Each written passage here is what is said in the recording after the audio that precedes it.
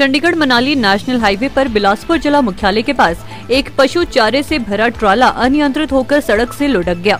हालाँकि इस हादसे से कोई जानी नुकसान नहीं हुआ है, लेकिन ट्राला बुरी तरह से क्षतिग्रस्त हो गया है। चालक और एक अन्य को चोटें आई हैं। जानकारी के मुताबिक ये ट्राला स्वारघाट की ओर से आ रहा था और बिलासपुर के लेक व्यू के पास एक मोड़ पर अनियंत्रित हो गया, जिससे ट्राला सड़क से नीचे लुढ़क गया।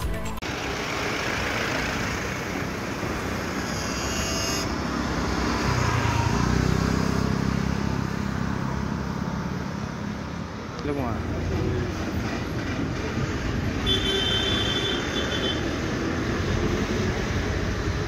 बोरे दा बोरे दा ये बोरे ये है ये।